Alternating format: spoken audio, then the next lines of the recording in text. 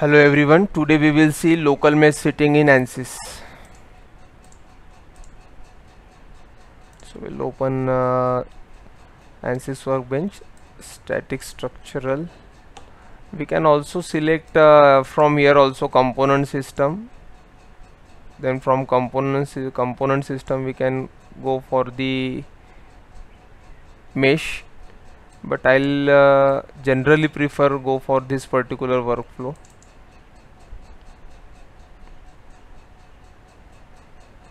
then uh, we'll import the geometry. Okay we'll again uh, we'll select gear casing.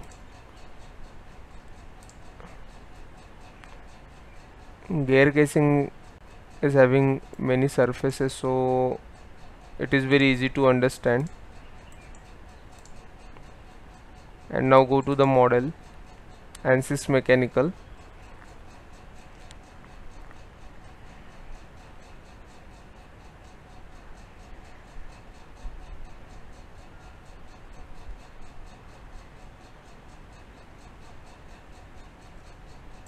so without disturbing any global mesh system will directly generate the mesh?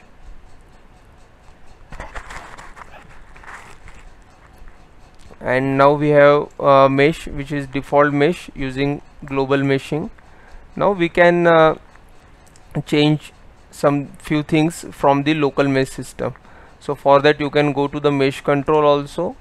Here we you will get all the options regarding local meshing or you can go to the insert and uh, select one by one. So we'll first see the method. In method it is uh, asking us to select the geometry. So we'll we have to select complete geometry.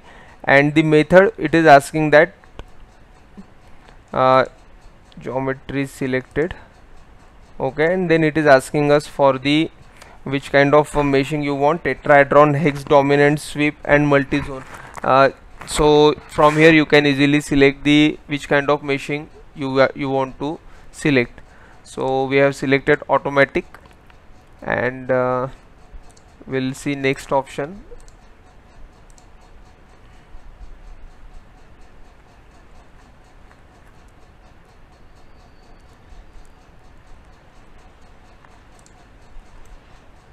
In automatic it will give the same result which we have earlier every after every if we uh, delete the local mesh system at every time we need to update the complete meshing again. Now next option we will see sizing. In sizing you can select face and edge also. So first of all we will select face on which I want to change the meshing. So I'll select this uh, face and apply it and uh, go for the element size or I'll select element size from here and uh, I'll give the size of 0.005 as we are working in the meter. And uh, only for this particular face see the changes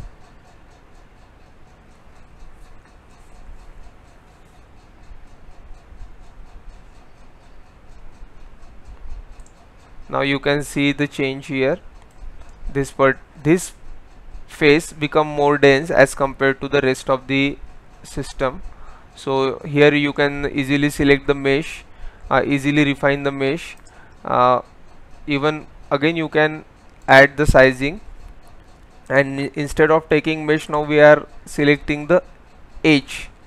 Now see what happen when we select the edge. Now element size become this and we'll update it.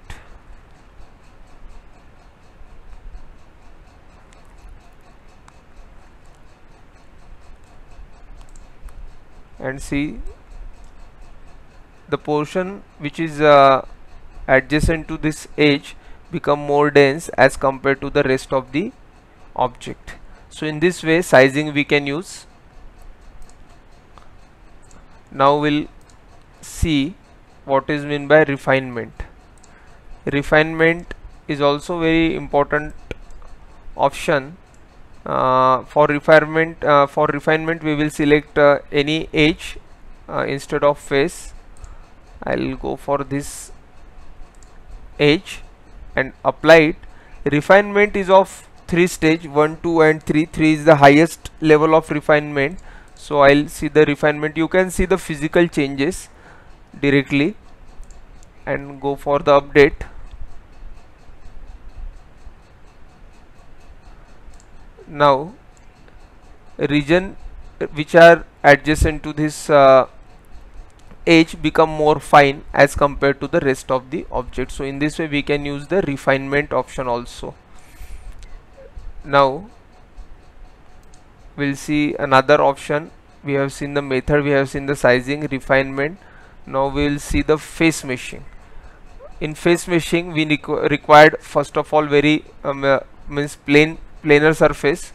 So we have selected the planar surface and go for the apply and we'll update it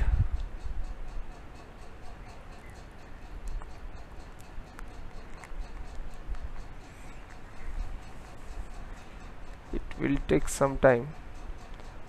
Now see what happened after face meshing.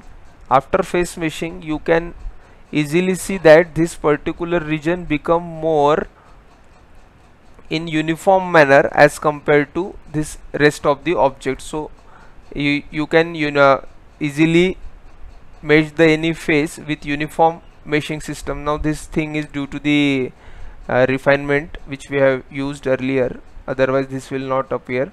So element is same tetrahedron but by face meshing you can also perform this operation. Now if you want to see the mesh inside the body you can use this option as well. Section planes. This these things happen.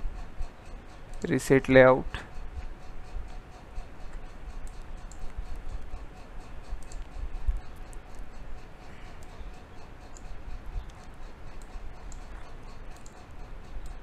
you can cut the object from here and you can see the mesh. See how 3d element appears. This is the tetrahedron. In this way you can see the element as well. And if you want to off this uh, to close this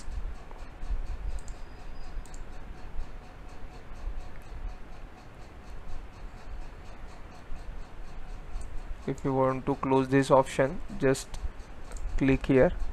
So your original geometry appears. So this is uh, basic regarding the local mesh system. Uh, in next class we will see the quality of meshing. Thank you